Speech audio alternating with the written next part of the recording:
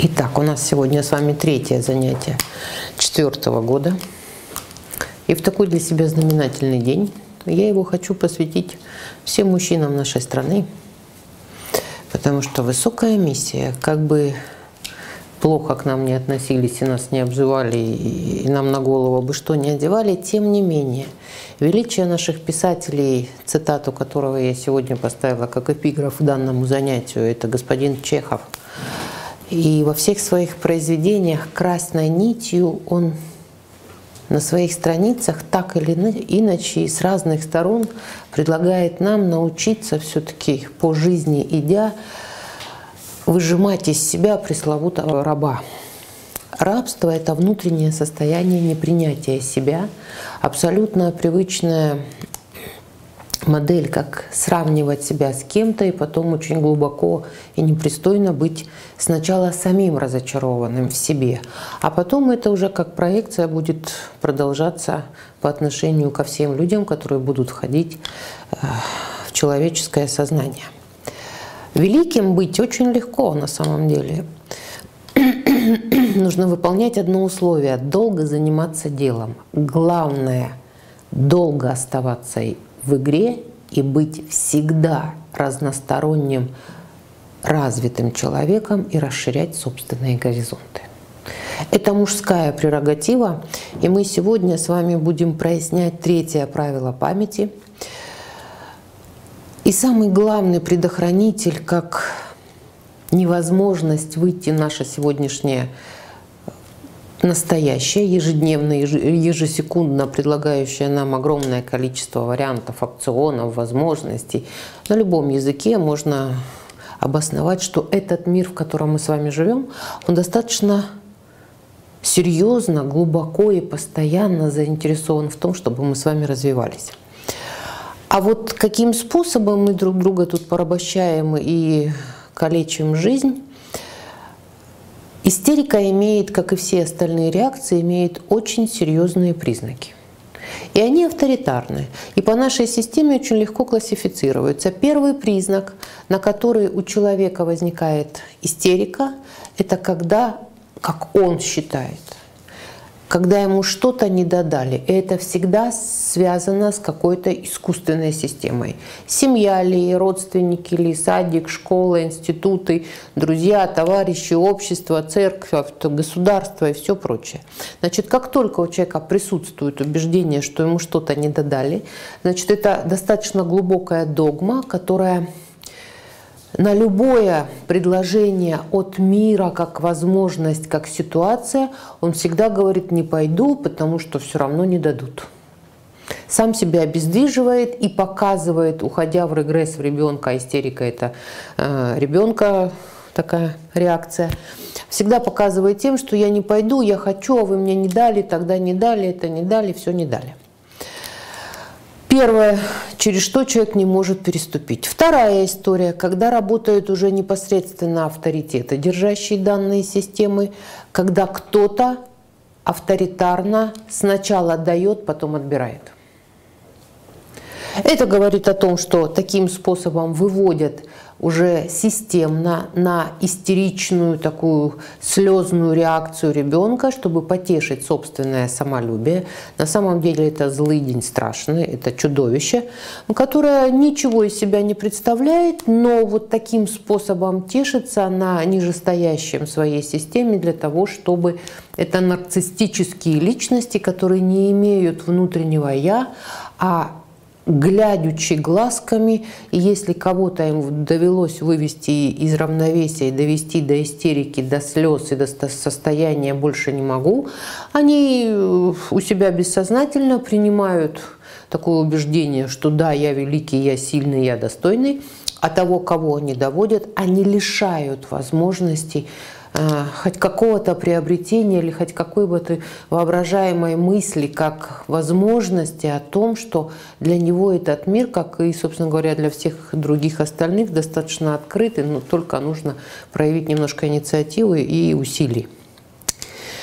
Третья история, когда это уже общество, это уже люди, количество людей, это когда происходят измены, это когда одного человека заменяют на другого, допустим, в работе, там, в каких-то проектах, э, у детей воспитательницу в детском садике, учительницу, классного руководителя, лидера какой-то там группы. Ну, в общем, когда э, к человеку привыкают и его изымают, оставят другого, и новая метла по-новому метет, это всегда отношения мужчины и женщины. Откуда и берутся, собственно говоря, потом такие определенного качества направленности. Это непереносимость и невозможность человека адаптироваться к другому, потому что смена декораций, декораций как людей, она достаточно сильна и очень люди подставляются очень разные для того, чтобы без конца выводить из равновесия. Значит, у нас получается авторитеты и плоскости, как э, возможность, которую нужно брать, или необходимость, которую нужно использовать для того, чтобы в этом мире выживать, идти куда-то в искусственные системы. Там предлагается плоскость каким-то условно руководителем или управленцем, и этот управленец может меняться без конца, и у человека начинается дисбаланс внутренний, психический. Он боится боится следующего, потому что к этому еще не успел привыкнуть. И последнее, когда человек это уже прошел, и у него устойчивое состояние неприязни, разочарования к себе, тогда он приучается классно, достойно, обосновывая и выписывая там всевозможные иллюзорные сказки, проигрывать другому человеку, даже не начиная. И это уровень приспособленчества – и этому обязательно нужно у кого-то научиться. Это красиво, это витиевато, но если смотреть по ситуации, по конечному результату, это всегда поражение в чужом пространстве и всегда отсутствие хоть какого-то бы ни было ядра, как возможности познать и разобраться. Мы опускаемся еще ниже и начинаем искать фантомный придуманный образ второй половинки. Для того, чтобы как-то компенсировать второй костыль, красивую девушку не очень мужчине или наоборот красивый мужчина с не очень девушкой, но она преданная, достойная, не очень умна, но зато, зато заботлива. Ну вот пытаемся найти вот тот образ, который компенсирует истеричный вот этот бесконечно вращающийся механизм внутри, чтобы никто, собственно говоря, не догадался, а выставить перед собой вторую половину для того, чтобы все оценивали ее, а на него была в обратную сторону проекция. Понимаете, о чем разговор веду? И последнее – это такая лежачая фигура, которая признает, что он не, или она недееспособна в принципе. Это вечные болячки, переживания, страдания и все прочее. Значит, и отсюда, если мы смотрим как на две системы яблока, разрезанного пополам на прошлое и будущее, как вогнутую, выгнутую нашу с вами пресловутость, что могу и что умею, получается, знаю, эта женщина, по идее, должна и помню, она работает знанием, памятью и фактами. Сходится, не сходится. Мужчина что-то должен уметь, могу и хочу, и и готов исполнить это. Реализационный навык, который точно знает, какая последовательность должна от того, что нет, от того, что будет. Если этому не обучено, в принципе этому не обучены, и выходит защитная реакция, как истерика в настоящем, потому что мир заинтересован в изменении нас каждого и предлагает э, задачи, которые только мы можем решить, которые находятся как инциденты нашей памяти. Но в силу нашей оперативки и мало мы чего видим и и практически ничего не слышим, зарождается два вида ошибки. Значит, у женщин ошибка циклическая, переповтор событий, поиск мамы, папы или э, поиск э, фантома, за кого бы спрятаться. Это никогда не увенчается успехом, потому что представления реальности внутренней никогда не сойдутся с суровой действительностью, где, собственно говоря, приходится оперировать тем, что имеем.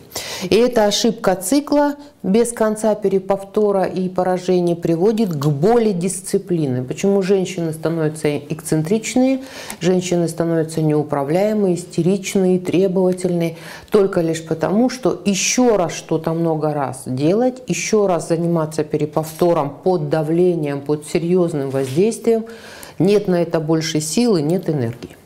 Значит, они идут во все тяжкие и методом просто перебора пытаются найти оптимальный вариант хоть какой, для какой-то выживалки. С мужчинами немножко обстоит дела посерьезнее, потому что основная ошибка, когда заявленная позиция о том, что хочу стать богатым, успешным, счастливым и достойным, и первая помощь всегда миром оказывается, когда э, человек, мужчина уходит от зависимости, допустим, из своей семьи или там от старшего брата или от каких-то родственников. Всегда карт-бланш для того, чтобы он начал и начал развиваться. Но для того, чтобы пройти первое препятствие, первое препятствие это всегда потеря всего при помощи проекции того авторитета, который, собственно говоря, и принимал такое пагубное воздействие. Проверка на истеричность, значит, у него обязательно у человека должны что-то отобрать, это у личности отобрать. Самый большой секрет личности это заключается в том, что когда человек что-то делает, он находится в своей системе, как в сознании, пытаясь ее структурировать, наладить, подняться и в более, на более высоком уровне смысловой нагрузки разобраться, что происходит. И в этот момент он не видит собственных результатов, потому что принцип нашей памяти, чтобы был результативный жизненный путь, в сознании нужно скопировать ту структуру, которой человек собирается заниматься, и начинать ее для себя